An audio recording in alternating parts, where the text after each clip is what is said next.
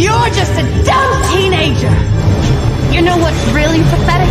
That you thought someone like me could ever be friends with a monster like you! That's not your line.